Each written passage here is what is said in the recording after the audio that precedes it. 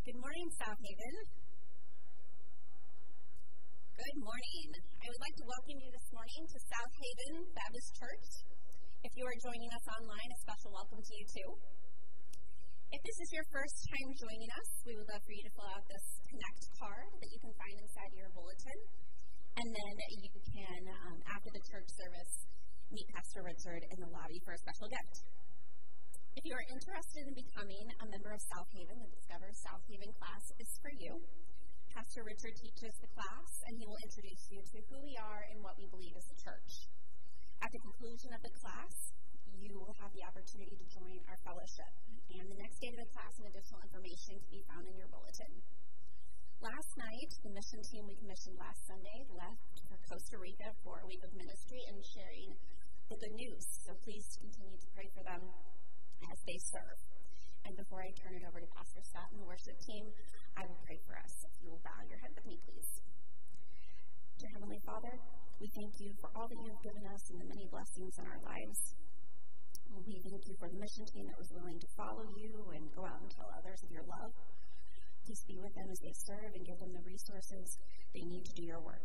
Please be with us now as we sing your praises, and I pray that you open our heart and our minds to your word. Jesus' name I pray. Amen. Amen. Thank you, Jenny, for getting us started this morning. Yes, our mission team uh, left last night. They did arrive. Pastor mentioned that in the first service, and are having their first day of ministry. They got in at 2:30 a.m. Um, this morning, and so, well, you know, adrenaline and and uh, just joy of the Lord. They're they're going to go after it and and uh, sleep later. But uh, so, how do we participate in missions? Last week we introduced this idea of the Annie Armstrong Mission Fund that Southern Baptists give towards for North American missions. This is not one of those where it is 20% goes to executive stuff and 80% goes to the missionaries. This is 100% going to missions and missionaries. My brother and his family benefit from the uh, from the other offering that we have in December. It 100% goes to missionaries. I know it for a fact.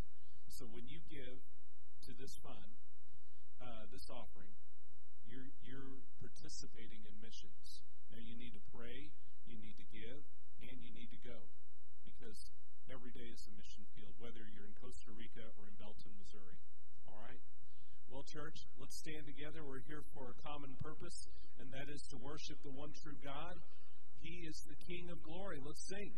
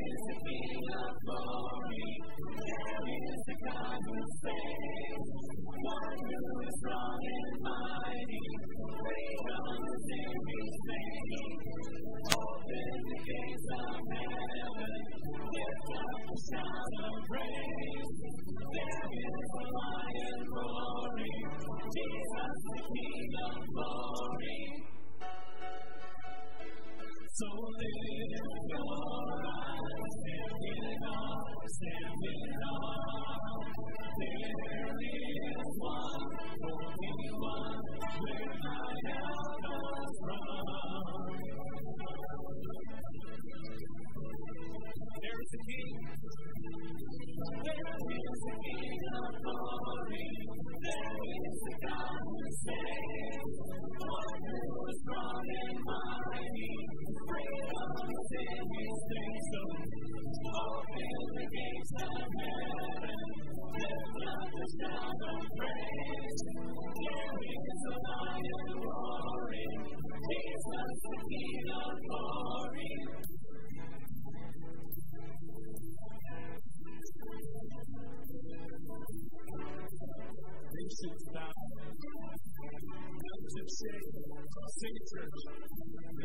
challenge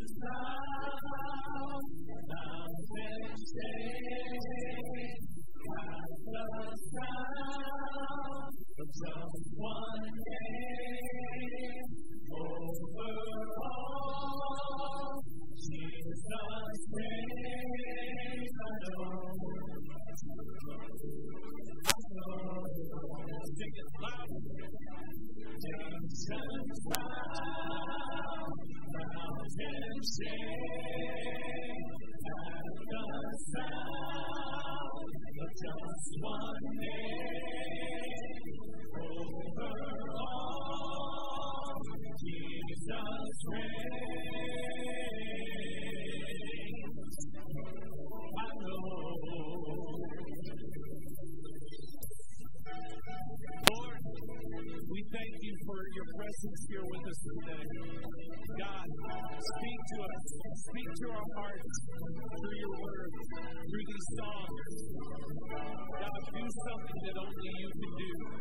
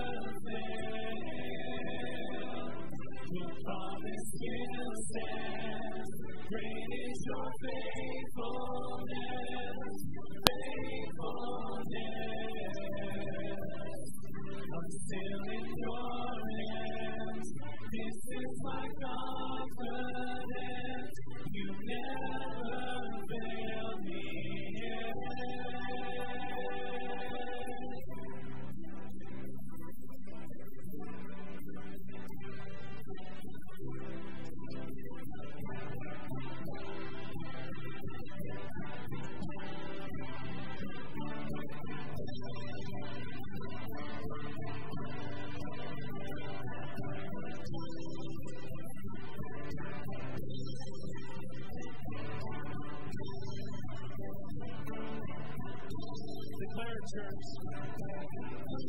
seen you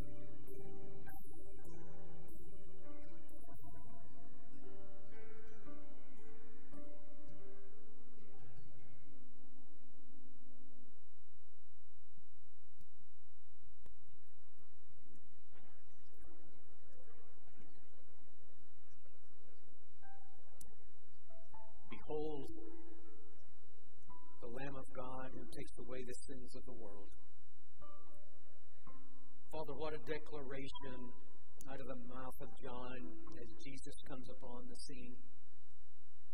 Father, what Paul writes is a reminder of what we've been singing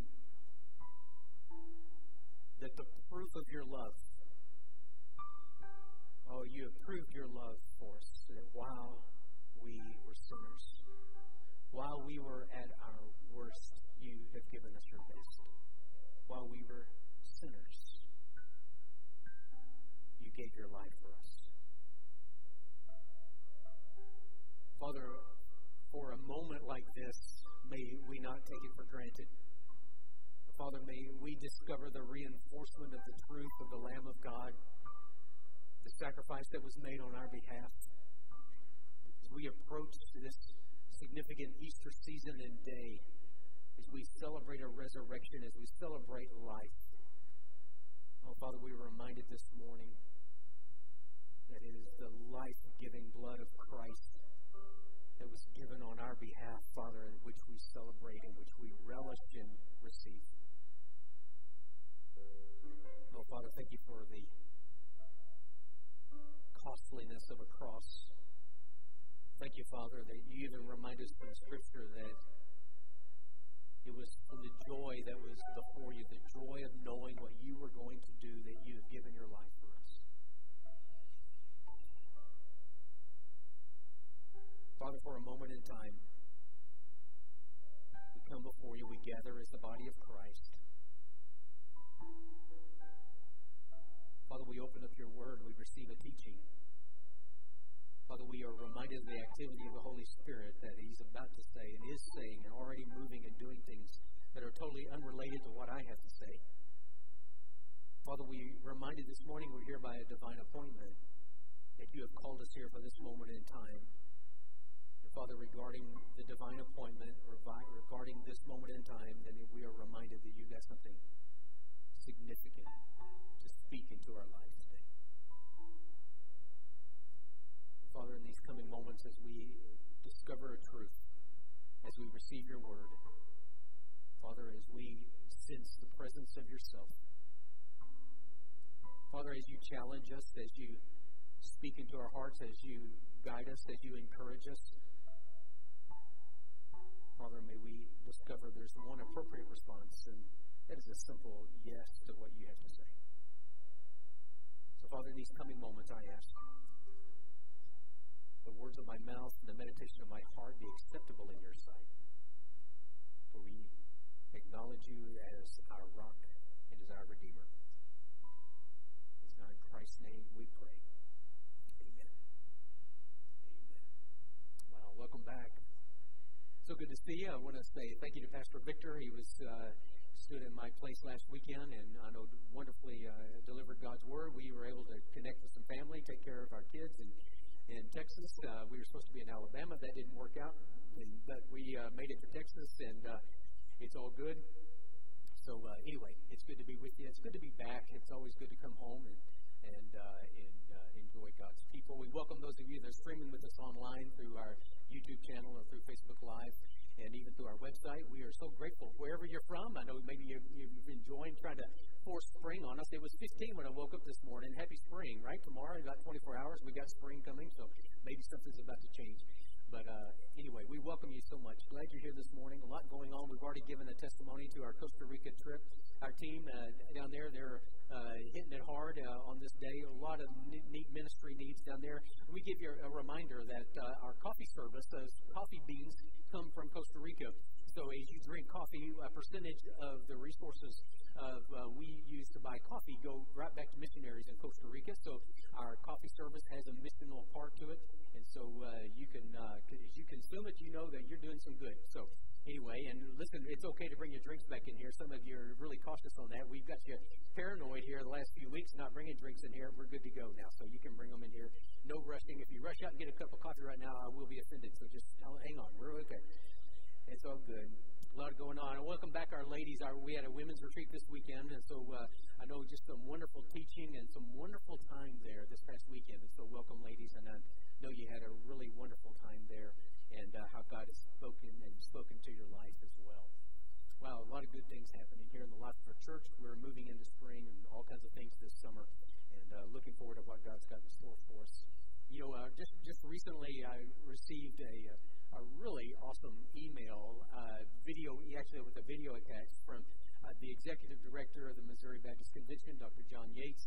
And uh, Dr. Yeats just kind of dropped this in there, and I opened it up. I didn't know what I was viewing, but I was pleasantly surprised that it was a powerful word to South Haven personally, uh, and just a thank you from him. So it's not often we get a shout out from the executive director of the Missouri Baptist Convention, but he uh, has done this specifically for South Haven. And so uh, I want you to watch this. Hello, South Haven Baptist Church. I'm so grateful for you and for your pastor, Dr. Richard Young. Your church is one of the top cooperative program giving churches in Missouri in the year 2022. We're so grateful for you. Do you know what that means? It means you're leading Missouri Baptist in the support of foster care, adoption care, and rescue from human trafficking through the ministries of our Missouri Baptist Children's It means you're getting the gospel into the hands of unreached people groups that have come to live right here in our state of Missouri. It means you're supporting missionaries on 30 college campuses all across our great state. It means that you're sending disaster relief volunteers to offer help and hope and healing to places marked by earthquakes and hurricanes and floods and many other natural disasters. It means at the same time that you're providing Christian higher education on three university campuses in Missouri. And at the same time, you're caring for the elderly at our Baptist homes and health care. And you're securing estate planning for families through the Missouri Baptist Foundation. That's just in Missouri. Your cooperative program gifts also help keep 9,000 full time missionaries on the field around the world. And at the same time, you train more than 15,000 students every year at our six Southern Baptist seminaries. You give Southern Baptists a voice in the halls of Congress and in the courtrooms of our country, and so much more. None of these amazing ministries could be sustained without you giving faithfully and without your church sharing its financial resources with other churches through the cooperative program. Through the cooperative program, you have skin in the game with what God is doing in Missouri, across North America, and around the world. Isn't that good? Yeah, thank you so much. Yes. That's for you. I love that he said we have skin in the game. You know what? That's exactly what happens when we give financially through God's church. We have skin in the game. We're supporting all those ministries and so much more. You might not have realized the breadth in which our giving impacts people's lives. It does it here locally, it does it around the world. And so I just want to say thank you. Thank you for being one of the top giving churches in the state of Missouri. That's nothing that's that's nothing we should take for granted, but something we should definitely celebrate, and that's definitely because of your generosity. Thank you so much.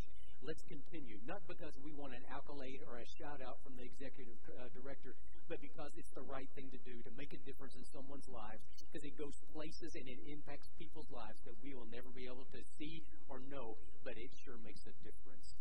We give today here through this way. Our offering boxes at the exits are a great way to do that. SouthhavenChurch.org slash give. Wow, that's a seamless, very wonderful way that Amy and I have chosen to do, and it works out well. On a it keeps us consistent in our giving. And again, we're still in our elevate aspect here in, in, in South Haven. Uh, this room is part of that. Our, our most recent current project that's ongoing. SouthhavenChurch.org, Elevate Giving. We're taking care of Jerusalem. You can continue to give, give there as well. Over half a million dollars has already been given just through pledges in cash right now, and that's nothing uh, to sneeze at. That's good stuff. Let's continue in moving in that direction. Wow, good stuff here, and uh, so glad to be a part of it. When we continue here, we're looking at uh, our series of messages called Just One. Really, just how God can use an individual for his purposes, just an individual. And that just one has taken us through a couple of characters, some we've never heard of. Like we started our series with a man named Tertius. Tertius was uh, Paul's scribe that wrote the book of Romans. Actually, not wrote, but actually, dict- as Paul dictated, he wrote it all down. Paul's scribe Tertius, he was God's unlikely one to be used. And then last time we were together, it was about Lydia, wonderful woman who gave her life to Christ, and actually through her home, opening it up to Apostle Paul and the other missionaries, that through that place, that was home base where the church at Philippi began. And so, wow, God, that was Lydia was God's available one. Today we find a man by the name of Ananias. We find Ananias, and he comes right along right after the Apostle Paul, and actually Saul, right after his conversion. We're going to discover today that he is God's reluctant one. We've looked at an unlikely one, an available one. Today is Ananias. He is the reluctant one. Reluctant. What does that mean? Sometimes it sounds kind of like this. Why should I? Well, I don't want to. Is it really necessary? Can't someone else do that? It's not my responsibility. It's not my spiritual gift. I'm afraid. Don't you know about them? Simple phrases. If we really dig down, all of them have this common theme. They are the words of the reluctant. To be reluctant means to be hesitant or unwilling to do something, just a hesitancy.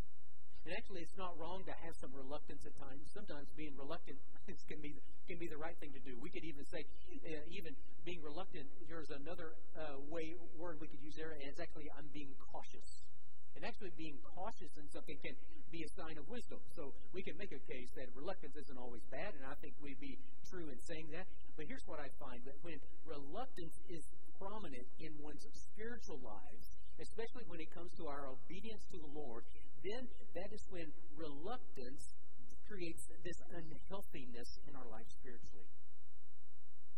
A reluctance in our spiritual lives our reluctance to grow, our reluctance to say yes, our reluctance in obedience brings about some unhealthiness in our lives. The Bible gives us some examples of those who were reluctant. We've kind of touched on these previously, but it's always good to be reminded. Moses was reluctant to obey the Lord as he was charged to lead the children of Israel out of Egypt. Jonah reluctant to go to Nineveh, even to, to preach the gospel there to those people, and actually uh, ran from the Lord. We find Joseph reluctant to marry his bride, Mary, take her as his bride, wanted to divorce her. Peter had this great reluctance, and actually he denied Christ three times. He was reluctant to identify himself with Jesus. You know, as we have these reluctant examples, I'm thankful for them. I really am, because I can see myself in every one of them. I've done all those things. I've been in those places and done those things. And so thankful that God lets us see the individuals in Scripture kind of warts and all, right? He kind of gives us everything. You know, He doesn't gloss anything over, He gives us the reality of it. But I'm thankful that we see these because God is showing us that He can even work through us even when we're not at our best. You ever find that? You feel like something like, I've got to be at my very best. i got to get cleaned up, and God's going to use me. That's not it. We find here God chooses to work through individuals even when we're not at our best. He's also showing us that He has an endless supply of grace when we don't deserve it. God is showing us that He's patient with us when we're less than faithful. So over and over again, and even in the midst of our reluctance, God demonstrates His faithfulness to His people. And this is what we find today with Ananias. This reluctant individual. Ananias kind of emerges upon the scene. Actually, we find him here in the in the book of Acts. We find him later and later in these chapters as the apostle Paul is giving his testimony, and he mentions Ananias again. But here we find Ananias. He comes on the scene, and it's immediately after I would say just hours after the apostle after the apostle Paul, or here before he's Paul, he's Saul, had this Damascus Road experience, this encounter with God which knocked him off his feet, which God wonderfully and amazingly came upon his life, saved him radically, and all of a sudden he's blinded and he's been led off to another guy's home, and that's where we find Ananias stepping in. Now, Ananias doesn't do this on his own, but God approaches him, speaks to him, and tells him what exactly he needs to do. And so we find, though, Ananias is reluctant to do what God has asked him to do. Let's read his story. We're in the book of Acts, chapter 9 the scriptures are coming up on the screens. I'm reading from the uh, Christian Standard Version of the Bible. You follow along in your version as well. Here is the reading of God's Word, Acts chapter 9, beginning with verse 10. Ananias and the Lord begin the dialogue, and there was a disciple in Damascus named Ananias. And the Lord said to him in a vision, Ananias, here I am, Lord, he replied. Get up and go to the street called Straight. The Lord said to him, To the house of Judas, and ask him for a man of Tarsus named Saul, since he is praying there. And in a vision, he has seen a man named Ananias coming in coming in and placing his hands on him so that he may regain his sight. Lord, Ananias answered, I've heard from many people about this man, how much harm he has done to your saints in Jerusalem and he has authority here from the chief priest to arrest all who call on your name. Let's pause there for a moment because there's a lot going on here, and we're going to resume the story here in just a moment. But we pause there a moment because we get this picture that Ananias has some reluctance on what God is calling him to do. Actually, he begins to kind of say, Hey, do you not know? This is what I know. This is what I heard. Do you know what's going on in the rumor mill about this guy named Saul? But what we discover here is that Ananias' interaction with the Lord and what God is telling him and asking him to do really gives us some understanding about some issues and some things and areas of our lives as well. Ananias, God's reluctant one, actually teaches us something, and I want to share that with you this morning out of God's Word. He teaches us three things. The first thing, I don't know if you picked up on this, I was really impressed with Ananias and how quickly he heard the Lord's voice and knew what it was. And it reminds us this God is speaking, but are we listening? Okay, God is saying something. Are we listening? The Lord speaks to Ananias about what to do. He does this in a vision. This is how God was speaking to him at that time. He, sp- he, he spoke to the Apostle Paul the same way in a vision. You know what? God speaks in different ways in different uh, aspects of our lives. But he is speaking, and I don't even know that, but, you know, Ananias, and immediately he didn't say, oh, I think that was his wife or maybe his children or someone that had come to the door. He immediately said, Yes, oh Lord, yes, what do you, what do you want? He knew exactly. So it tells us something about Ananias' spirit. It tells us something about his walk with the Lord, and that it was, it was close, and he understood the voice of God. You ever get challenged on hearing God's voice? Just say, I, I just I just don't hear? How does God speak? We get challenged that way sometimes. God speaks to us in different ways. But here's what I found how God speaks to us. Course, God, there's this internal aspect of God speaking to us, and that's through the Holy Spirit that's within us. There's this aspect. God speaks to us through His Word. It's living and active Word of God. It's living He speaks to us through prayer. He speaks to us through circumstances. He speaks to us through other believers. That's the joy. See, when we interact with one another, God He has opportunities for other people to speak wisdom into our lives as well. And you realize that when we're doing all of those things, wow, we are setting ourselves up in a really good position to hear God's voice really clearly. I sure hope that wasn't a smoke alarm. Y'all hear that? I don't know. We'll find out. Someone's going to be on that. If it happens again, someone needs to change a battery. There we go. Just saying. I remember, I remember well. It was, it was December. It was 1987. Let me see how specific it was. It was on a Thursday. It was about 7:30 at night. I was at home in my parents' home. I had just graduated college uh, the semester before in May of that year, and I was struggling. I was struggling with my place. I was struggling with future. I was I had a college degree, and the only job I had was the invitation from my dad to come back and work in the family business of the restaurants in southeast Oklahoma. And that was it, and that was my job. And I was like, wow, and you know what? I'd done that since I was 12 years old, so I knew the job. I knew everything about it. But I was struggling. I was just like, wow, is this what I'm supposed to be doing the rest of my life? I was ready to do that. Actually, I was my brother and I were making a plan to do that. We were going to be young entrepreneurs and retire as millionaires at 40. See how you know what you know? That's what you think when you're 22. You think that kind of thing, right? And um, but I was struggling with that. And so I was been crying out to the Lord, and I'd been reading just God's word and just really praying earnestly and say, God, what is what do you have for me? And it was on that Thursday evening on a December of 1987 in my parents' kitchen, and I'm just crying out to the Lord and say, God, what is this? What is it? It was just that moment. And you know what? It, it was that still small voice. It wasn't audible, but it was this. Richard, you, you are to be in vocational ministry. That was it. It was clear as anything. Now, it wasn't audible. I didn't see handwriting on the wall. It wasn't anything else, but it was this voice of God speaking into my life. And it shocked me. It was real, it kind of startled me. It started me, it was about 10 or 15 seconds I'm processing this whole thing. And, and then, you know, because actually vocational ministry wasn't on the radar. It wasn't like, you know, I've got five things I really want to do in life. Ministry is kind of like three or four. I'll do that if none of these other things don't work out. But it was just like, really? And all of a sudden, uh, you know what I did after that? I just, I just said, I just said, yes, I'll do whatever you want me to do. You know why? You know what happened after that? You know what the scripture says? It was the peace that surpasses understanding. And all of a sudden, just like that, I had been in such turmoil and unrest all these previous months. You just really figured some things out. And all of a sudden, I just say yes to something. I don't know what I'm saying yes to, and, and, and that was it. All of a sudden, you know what? I heard that was God's voice speaking into my life. You know what's happened subsequently, other times in my life, and God speaks to us, is that still small voice that just shows us and directs us on what we need to do and where we need to go. And you know what I attribute just being sensitive to that is simply because I was I was I was seeking Him, I was searching Him, and that, as God does that, He He speaks today. That was a, a, an experience I had many years ago, and I've had those. And I'm, hopefully, you've had something similar as well. As God has just kind of said, "This is the direction." It, it doesn't give you all the things that you want, all the details, but He says, "This is it." You know, God speaks today. Listen to, what, listen to what the author of Hebrews says in Hebrews chapter 1, verse 2. He says, Long ago, God spoke to our ancestors by the prophets at different times and in different ways.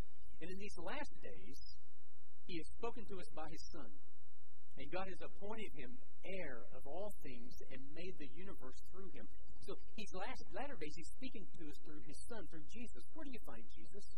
You find Jesus in the Scriptures. Know? I just try to make it a habit of reading through the Gospels on a consistent basis.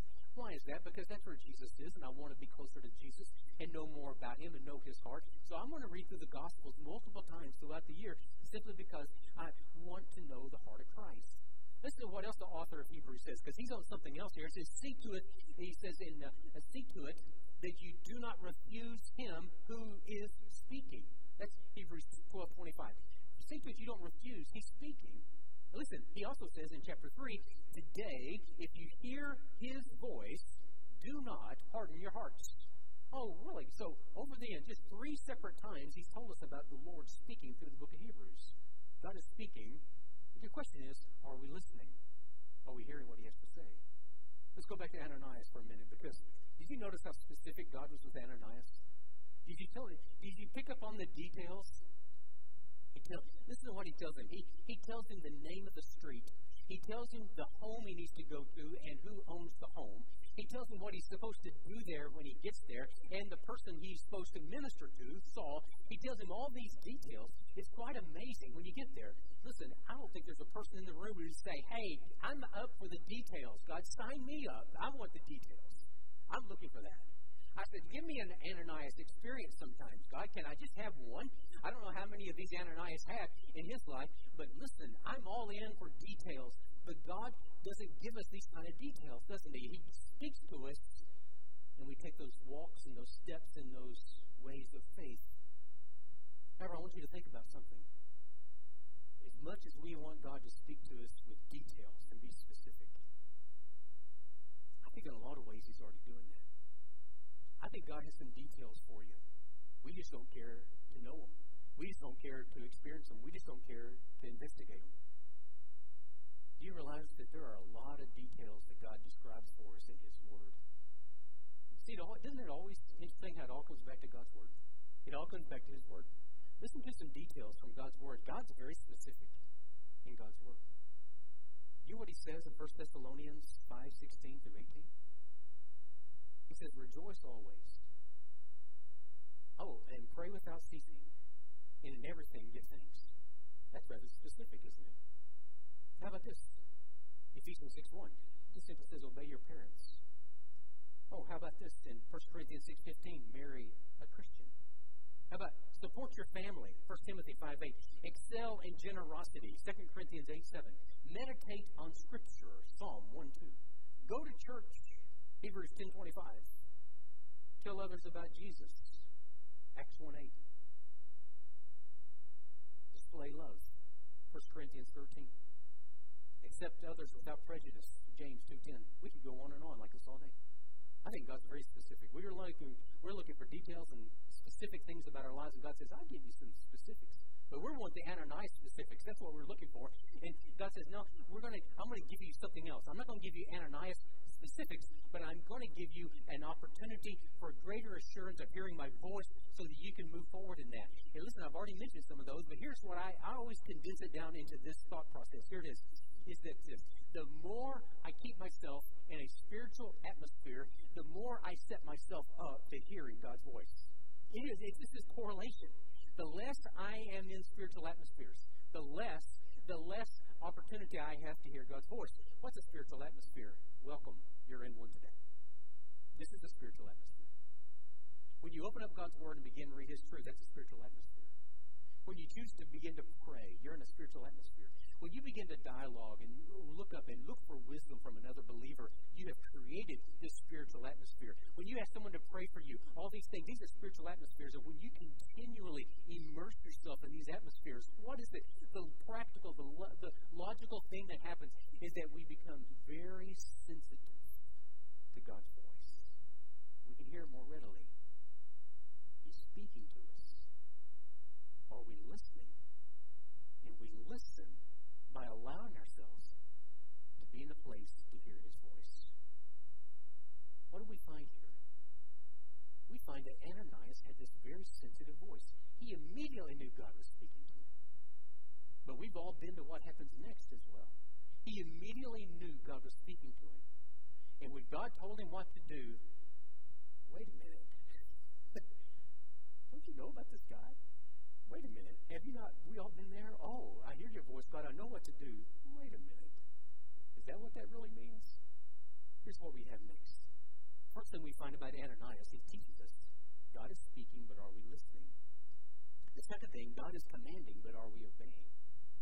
Ananias is not ready to do that. Verse 13, let's go back and reread his reluctance. Lord, Ananias answered, I have heard from many people about this man, how much harm he has done your saints in Jerusalem. And he is the authority here from the chief priests to arrest all who call on your name. You know what Ananias is going a little reluctance. Now, he's not being like Jonah and running. He's not being like Peter and denying and just saying, hey, I don't want to be associated with Christ. Or even Moses who's saying, send somebody else. But he is a little fearful. He has some reluctance here. I'm wondering if Ananias was thinking, you know what? I know what this guy Saul does. I know he goes on these rampages and his murderous intents. I know all these things that he does. I'm wondering if Ananias is thinking, I'm on the list. I'm on the hit list. He's coming after me. And not only is he coming after me, Lord, but you're sending me to him. Do you not know this, God? God knew exactly what he was doing. You know, in areas of obedience for the believer, there can be this thought process, not even for the believer, but sometimes just in culture in general, that the commands of God become very restrictive, hinder our freedom, even to the point of like, hey, this is 2023. It's not really relevant. We can get to that point. But you know what I find? I find that God's commands and where He desires for us to obey are just the opposite. They're given for our good. They're given for our protection. And our obedience to, to what God says demonstrates our love. Did you realize that the scriptures put love and obedience together? And that the demonstration, our love for God, actually, uh, John 14, 15, if you love me, Jesus says, if you love me, then what are you going to do? Well, you're going to keep my commands. It is the love of God is connected with the com- obeying the commands of God. They're not restrictive. Actually, it is in the obedience of God's word, in the obedience of our Lord, that we exercise and begin to experience freedom. Jeremiah 7:23. I love this word. Listen to how Jeremiah describes this. So the Lord through Jeremiah. But this command I gave them: Obey my voice, and I will be your God, and you shall be my people, and walk in all the way that I command you. Listen to what it is: that it may be well. That it may be well with you. I love that. The God of the universe wants it to be well with you. The God of the universe says, Do this and it will be well with you. So consider, when we consider the obedience of God's commands, it is that God says, Hey, this is, this is for your benefit and for your good. And as you do that, it is well with you. And you can know that that's 100% of the time. Obey His commands, it is well with you. I was reading a, a little book, it was several years ago, but I, I love the little story in there. It's called, the, the name of the book is called The Man God Uses. It's by Henry Blackaby. Some of you know Blackaby from Experiencing God and those things, but he writes in there a story that he uh, heard from his father who was serving in World War One, and his father was given the uh, the charge to or the command to take his unit across a minefield. Okay, wow, that sounds rather challenging, doesn't it? And he said, but here's the command. Not only are you going, you're going to be kind of responsible for helping your guys get across this minefield, but we're sending you some help, and we're sending you a minefield expert. And he's coming. You don't do anything until he gets there, and he's going to help you get across. So the minefield expert arrives, and he gives the instruction to Blackaby's father and the rest of his unit. And he said this He said, I will take you across on one condition. Whenever I tell you to do something, do it without question. It will mean your life and mine if you don't. That's a biblical principle, isn't it? That's exactly what we just read. Obey, and it will be well with you. Is what he's saying. If you obey what I say, it's going to be well with you, and you'll live another day. Our Lord knew that. You know what? Our Lord is a minefield expert. He knows where all the traps are. He knows where all the places are that's going to mess up the follower of Christ. And he says, I know where all this is. I know where the enemy has planted the mines. I want to walk you safely through them. he says, If you obey and follow my commands, he said, I can help you get through those. Disobedience to the Lord in some areas is kind of challenging and puts you in a very unhealthy place. Today, make it a point to say, I'm going to stop some reluctance and some obedience. I want it to be well with me. I want it to I want to invite God into greater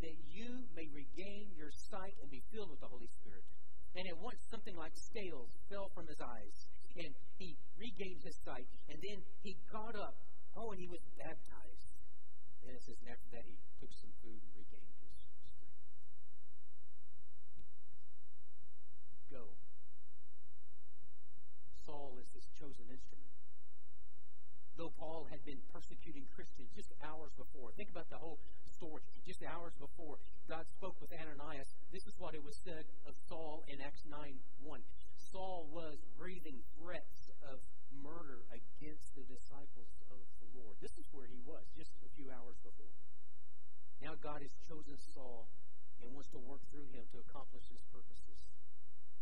God is a persistent God. He doesn't give up.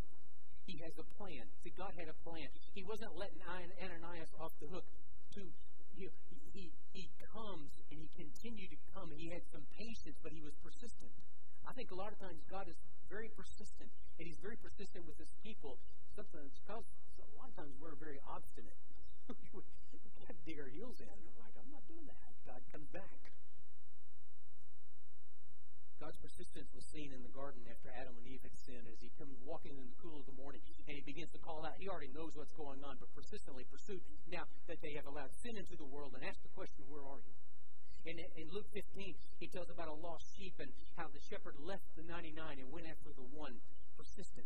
We go to Luke chapter uh, 19, verse 10, where Jesus says of his persistence, For the Son of Man has come, why? To seek and to save the lost. To seek after. Actually, that word seek is not just a casual glance. It's not just a kind of like, um, I don't see anything. No, it is a, a word of diligence. It is a word of tenacity. It is a word of earnestness. It is searching for something with all your effort and everything you have. It is a seeking, and that's what he says here in Luke 19:10. What a powerful word for us! That that is why he came. That is his purpose, and he seeks out those. It is a persisting God, wanting others to know him. And this is why he didn't let Ananias off the hook. God knew that he had his chosen instrument in Paul. Ananias, there's a lot of concessions here. God is coming and he is persistent. But are we conceding? Ananias conceded. He says that he said, I will I will do what you want me to do. Actually the word concede means to admit something is true, it is valid after you have first resisted. So you're admitting this is true, this is valid. I have formally resisted, I concede. Ananias conceded to what God wanted him to do. Paul has conceded. He's already conceded and given his life to Christ. Says, I concede again, and I'm going to humble my heart. I'm going to identify with Christ in the most public fashion I can. I'm getting baptized. Remember, baptism always follows salvation. It's not vice versa. Baptism first and then salvation. Nope. Baptism is the reflection of one's salvation. God is persistent today. God has been very persistent with some of you. Some of your stories are stories of persistence of God. Because it was over and over again that God was approaching you, coming to you, wanting you to give your life to Him, and you continually refused. And some of you could say, I've got to, uh, God was persistent with me for years 15 years, 20 years, 30 years. Some of you are annoyed by those people that God used to be persistent. You're very annoyed. You had annoying parents. You had annoying grandparents. You had annoying friends and neighbors.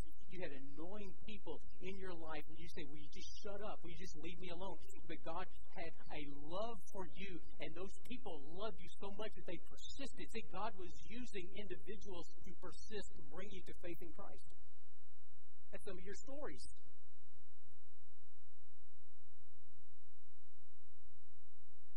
Now that you're on the other side of that, those people that were annoying are the people that you're most thankful for.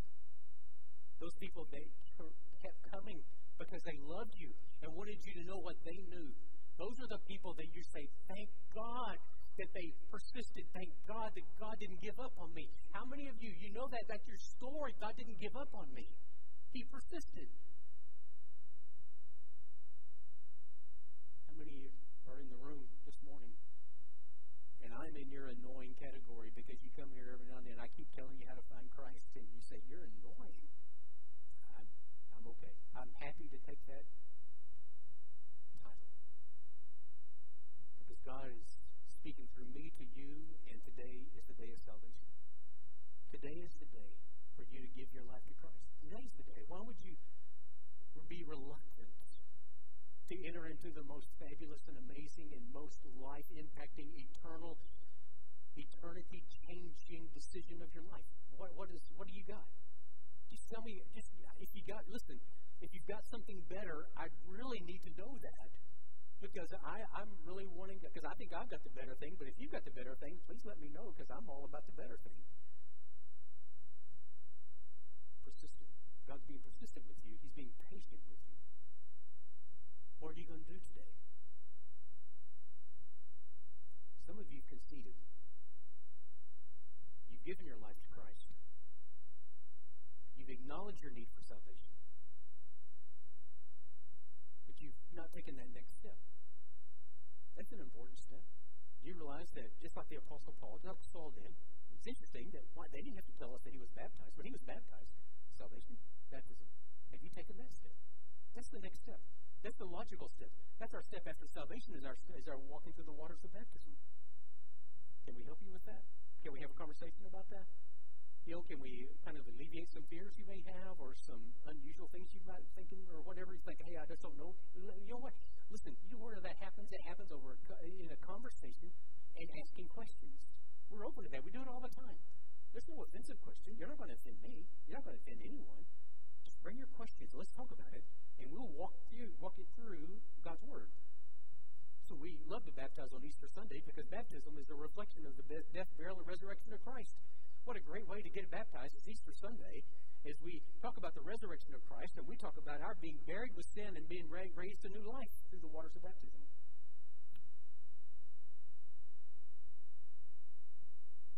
Jesus, be reminded of this too, has come to seek and to save the one person or family that you're praying with and praying for right now for Invite Your One.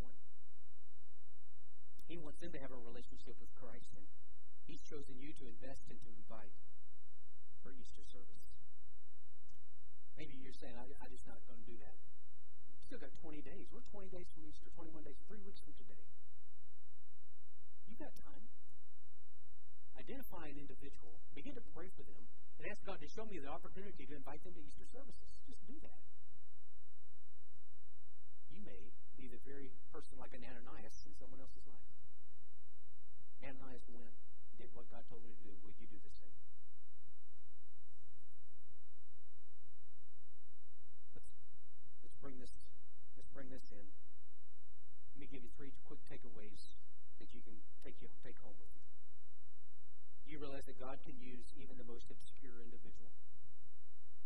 You know what? Just like an Ananias, behind every well known servant of God is a lesser known believer who influenced him you know what, you may be the lesser known individual that God is ready to use and say, you know what, you need to walk across the soccer field or next door or across the office complex, invite that person to church, begin to pray for them because they are my chosen instrument. You really think, you know, think about that. God's chosen instrument to do something incredible may be the very person that God's placed in your life. Here's the second thing. We should never be afraid to obey God's commands. You know what I, I'm fearful of is not obeying God's commands. That's what makes me fearful. I, here, we are to obey God's commands and leave the consequences of our obedience up to Him. Let Him work the rest of it. I'm just going to obey. God, you take care of the consequences. And then lastly, never underestimate the value of one person coming to know Christ. Never underestimate the value of one person coming to know Christ. What God did through Paul or Saul was amazing. Ananias sent to one person. God did the rest. An area of reluctance that you're struggling with this morning? We want to help you. Sometimes it's just hard to take that step. Sometimes it's just taking that step of unknown, going without knowing. How about you today? We have encouragers that'll be here at the front of the church here in just a moment, and they want to help you with any of those next steps. Totally something unrelated. If it's the next step of bringing, uh, committing your life to Christ, it's the next step of baptism, if it's the next step of serving, and next step of generosity, maybe you want to have someone come and pray with you maybe if you don't have that time, just let us know on the Connect card. You need to visit with one of staff this week, and we'll set it up an appointment, and we'll talk about anything and everything, whatever's on your heart. We are here to help you move past some reluctance and move into some obedience. What do you do? Pray with me now, Father.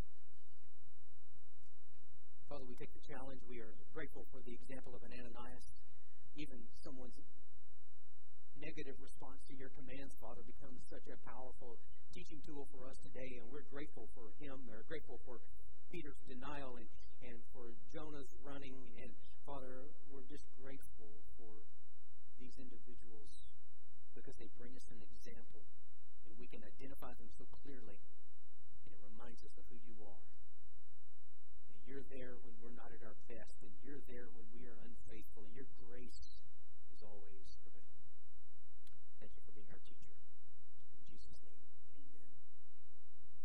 so much, church.